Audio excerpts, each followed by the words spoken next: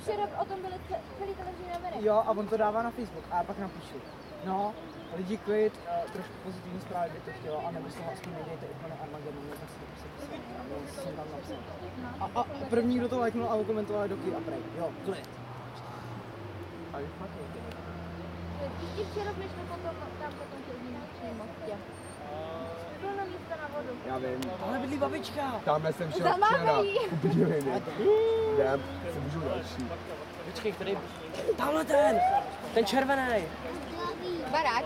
Jo. Panelák. Počkej, tady tamhle ten úplně vzadu. Ale ten červený panelák. Jo, tamhle ten.